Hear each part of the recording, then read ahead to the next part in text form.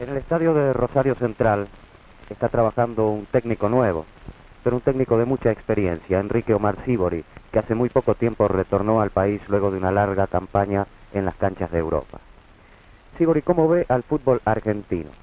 Bueno, hace ya un año que estoy aquí, he visto varios partidos. Los resultados no, han sido favorables en cuanto fuimos eliminados del Campeonato del Mundo. Estudiante no pudo conquistar por segunda vez el título de campeón mundial.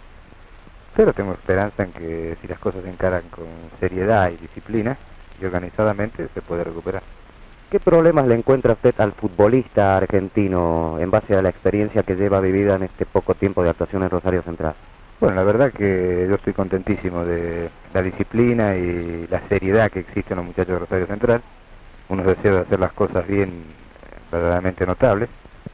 Se han preparado en la cumbre 20 días estamos jugando algunos amistosos, ya lo hicimos contra Unión y contra Huracán con resultados favorables, pero lo que me interesa es conseguir que el equipo llegue a la Copa Argentina en el 4 de marzo y al Metropolitano en al 22 en las mejores condiciones posibles y, espero superior a ese momento.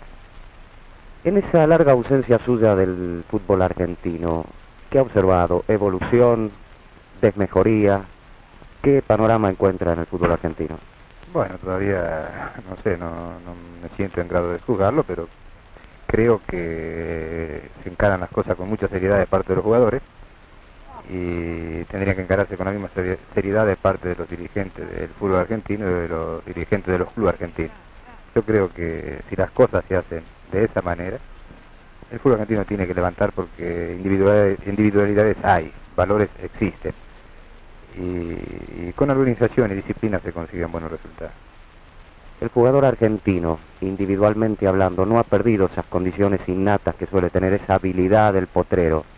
¿Por qué no se la ve tanto en las canchas de fútbol? Bueno, yo creo que el jugador de fútbol individual sin duda está desapareciendo. Ya el fútbol se realiza en, un juego más de conjunto. Eh, los potreros, digamos, no existen más en nuestro país y hay pocos potreros, así que los jugadores no tienen quizá la habilidad, no tienen tampoco las ventajas que, gozaba el jugador de fútbol en años atrás, la, ventaja de metro, digamos, que podían tener para el rival jugaba un poquito lejos. Hoy el fútbol se ha hecho más rápido, más difícil por las marcaciones estrictas. Así que por ese motivo las individualidades van desapareciendo y se ven menos hábiles los jugadores que antes. Entendemos que usted ha estado trabajando mucho en base a la habilidad de los jugadores, ha tratado incluso de enseñarles a cómo patear la pelota estando detenida. ¿Por qué es eso? Bueno, no, no sé, no es que, el jugador que ya llegó a la primera se le puede enseñar mucho, se le puede corregir defectos, digamos, de, de posición sin duda.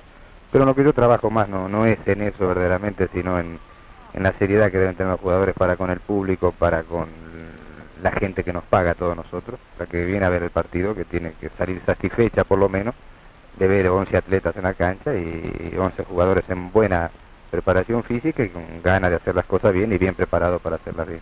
En ese sentido, ¿usted cree que Rosario Central va a conformar o ha conformado en estos dos primeros partidos amistosos de la temporada? Bueno, Rosario Central me ha, me ha conformado sin ninguna duda, pero lo que yo espero de Central, digamos, aparte de los resultados favorables y lo que yo quiero, es hacer las cosas en manera que si salen mal, haber, haber cumplido con nuestro deber de hacer todo lo posible para que salgan bien. Y haciendo todo lo posible para que salgan bien, no creo que nos equivocaremos.